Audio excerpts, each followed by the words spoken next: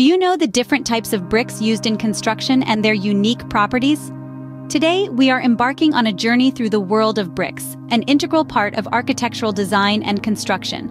We'll explore the variety of bricks, their unique properties, grading, and typical sizes. We'll delve into brick coursing, discuss different types of brick joints, and examine brick construction techniques. We'll also address issues like efflorescence and provide insight on brick cleaning and restoration. Let's dive into the fascinating world of bricks. Bricks come in all shapes and sizes, but do you know about their types and grading?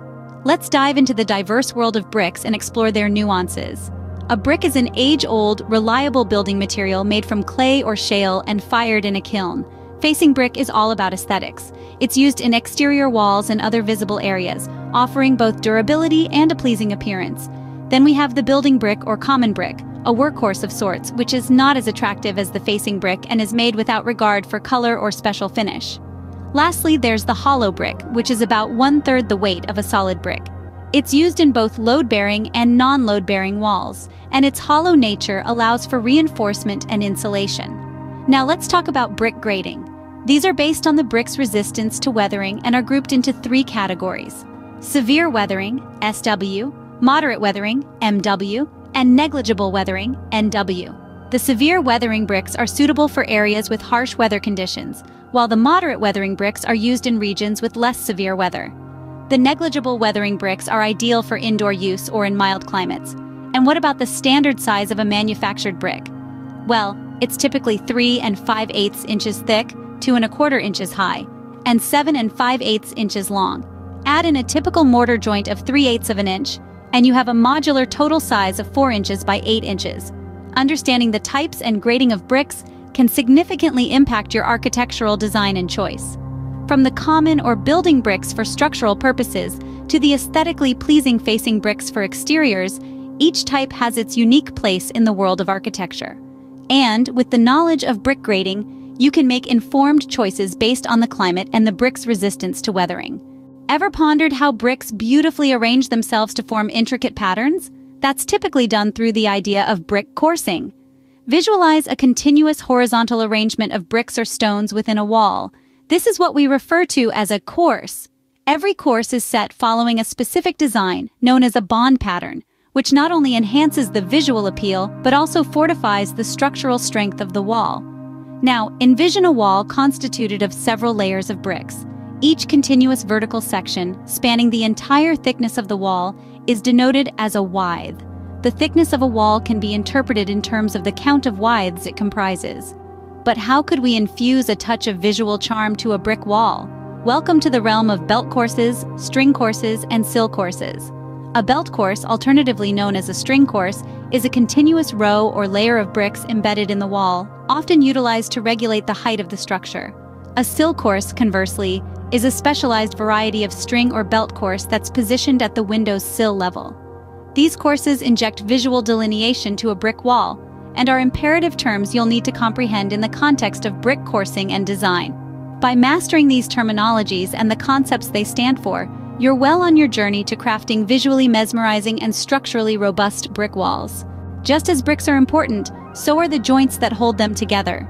In the world of brickwork, joints are the elements that bind the bricks together and give the structure its resilience. Additionally, Tooling is the process used to shape, compact, and finish the surface of the mortar joint, enhancing its appearance and durability. When we talk about types of mortar joints, there's quite a variety to choose from. Concave, V, raked, trowel-struck, weather-struck, flush, beaded, and extruded. Each has its specific purpose and aesthetic appeal. But for exterior use, concave, flush, and V joints are the top picks because they shed water more efficiently, reducing the risk of water seeping into the brickwork. Now let's delve a little deeper into the types of joints. The construction joint, also known as a cold joint, isolates the masonry from through-wall elements, such as doors and windows. Then we have the expansion joint, designed to accommodate the expansion and contraction of the brickwork due to temperature changes. And finally, the through-building expansion joint, which, as the name suggests, extends through the entire building. Spacing of these joints is crucial for the stability of a structure. Major through-building expansion joints are usually spaced every 100 to 150 feet in large buildings. Expansion and control joints, on the other hand, are spaced about every 15 to 25 feet and at places where the wall changes direction, height, and thickness. With the right joints, you can ensure the longevity and stability of your brick structures. Brick construction isn't just about laying bricks, it involves a lot more. Consider the single-wythe wall. A single layer of bricks held together by mortar forms the entire wall. These simple brick walls should not exceed 20 to 1 as it pertains to the maximum ratio of unsupported height or length to thickness. Then we have the cavity wall. Two wythes of brick separated by an airspace or cavity tied together with galvanized metal wall ties or continuous horizontal reinforcement placed 16 inches on center. This design reduces heat transfer and prevents moisture from moving through the wall. Now let's delve into the reinforced grouted wall.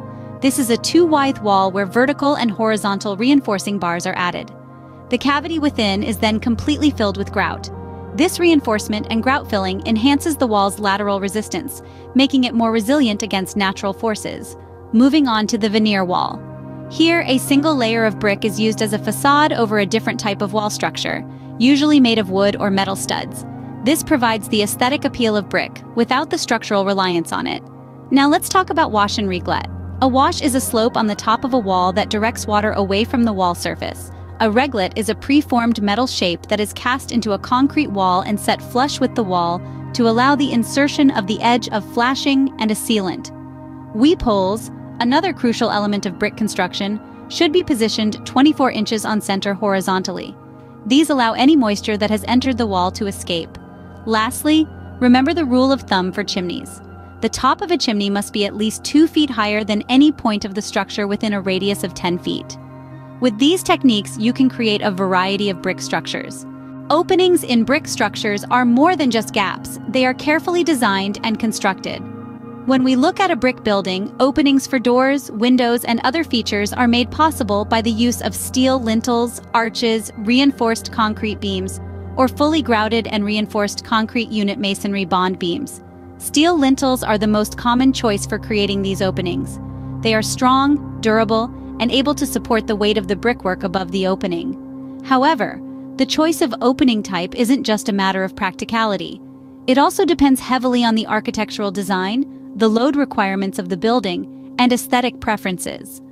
For example, arches might be chosen for their classic, timeless appeal, while reinforced concrete beams might be used for larger openings or in more modern designs. Understanding how openings are made can help you design more functional and aesthetically pleasing brick structures. With this knowledge, you can create brick buildings that are not only solid and durable, but also beautifully designed. Ever noticed a white powdery substance on bricks? That's efflorescence. It's a crystalline deposit of salts that can form when water is present in or on brick, concrete, stone, stucco, or other building surfaces. It has a white or grayish tint and consists of salt deposits left behind when water evaporates. In addition, efflorescence can appear as a powdery substance on floors and walls or as a crystalline deposit on concrete surfaces. But don't worry, with proper construction techniques and materials, efflorescence can be prevented. Efflorescence can be an eyesore, but with the right preventive measures, you can keep it at bay. Maintaining the beauty of brick structures requires some cleaning and restoration. Let's start with tuck pointing and repointing. Both are methods of renewing the pointing, which is the external part of mortar joints in masonry construction. In tuck pointing, you'll remove the existing mortar to a certain depth and then fill in with new mortar. Repointing, on the other hand, involves replacing the outermost part of mortar joint with the aim of halting the destructive process of decay in the mortar. Now, onto the cleaning. The method you choose depends on several factors.